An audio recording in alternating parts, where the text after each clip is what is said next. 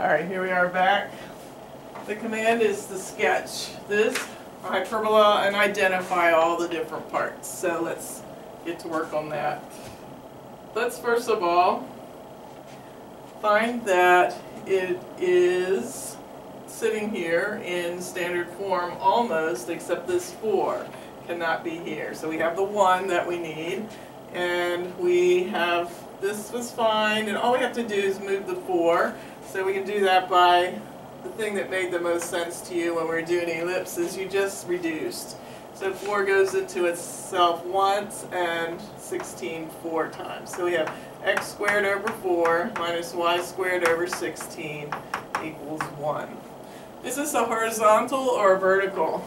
Well, our training over here said when the x squared term is positive, then it is a horizontal. So we have a horizontal uh, transverse axis, so the two branches will look like the ones that we had on our example in the beginning of the class in that orientation.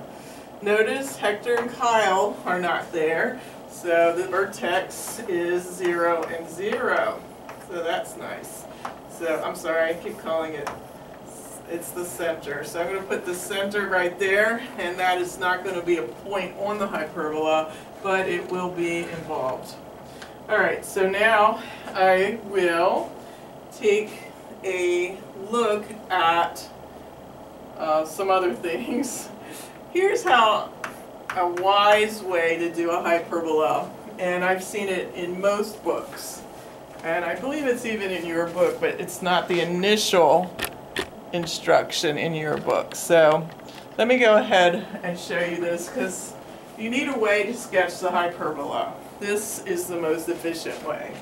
So what I'm going to do, start with a sissy chart, and I'm only going to allow two points on the sissy chart. I'm going to zero out x and see what y is, and then I'll zero out y and see what x is. These will be very valuable in sketching the hyperbola. So when I put a zero here, I get 0 squared over 4, 0. It, minus y squared over 16 equals 1. So I can do this mentally, but I will show you uh, step by step. The first term zeroed out, then I had this, and I'm solving for y. So I'm going to multiply both sides by 16. Let's say minus 16. And then I take the square root. The square root of a negative 16, you'll recall, is 4i plus or minus 4i. So that's an odd answer but it will be useful. Let's do the same thing. You go ahead and zero out y and tell me what x is.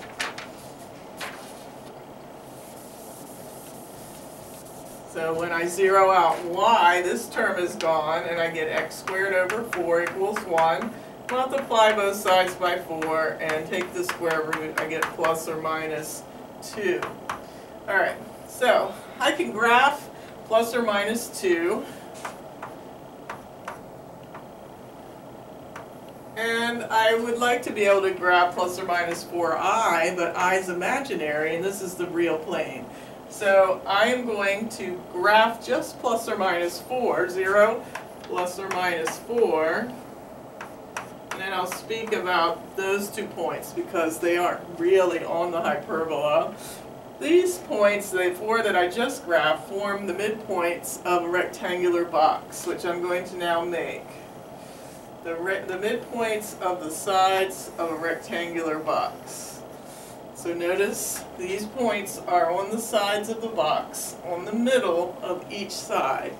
Now I could take the, uh, is that showing up? Looks pretty good. I'm going to take the diagonals. I'm supposed to go through the center and the corners missed a little bit there, so do better than I did. Now, which way does this hyperbola go? Does it go here, bound it from the top and the bottom, or is it going to go side to side? Well, we already determined that because it's horizontal, but if you forgot, you know these points, the imaginary ones, helped us get the asymptotes, but they aren't really on the hyperbola. These are. In fact, those are the vertices. So now I can use this as a boundary line touch the vertice and go like that. So that is the most efficient way to graph the hyperbola. So we now know that the ver vertex on this side is 2, 0, and the vertex on this side is minus 2, 0. The only other thing I would like to have is the name of these asymptotes, and that comes from y equals mx plus b. b is where it crosses the y-axis, which is 0, so we don't have a b to worry about. But, and the slope of this line is rise over run. Notice we went over 2 and up 4. 2 and 4. So rise over run gives me a slope of 2. So y equals 2x is the name of this asymptote. And this one will work similarly, except the slope will be in the negative direction. y equals negative 2x. Alright, so last but not least, we need to find the equation or the location of the foci. So I'll put in the foci. And I haven't given you the tool to do that. I told you about A and B over here, but so we have an A of 2 and we have a B of 4 in this one, but I haven't told you the relationship with uh, the, the foci. And it turns out the foci are located at C. I did mention that from here to here is C. So if I had that number, I could get the location. And the relationship between AB and the hyperbola and C are a squared plus b squared equals c squared. It's a little different on the ellipse. So our a value is 2, our b value is 4, and we get uh, 16 plus 4, we get the square root of 20 for c, which reduces to 2 square roots of 5, and that was all really what I need. So the foci are on the x-axis, so we're going to go over 2 square roots of 5, 0, and on the other side is going to be negative 2 square roots of 5, 0. Alright, you'll be coming in working on those, so hopefully that makes sense and you've got it all down nice and neat and will be able to show me. Very good. Have a good evening. Bye.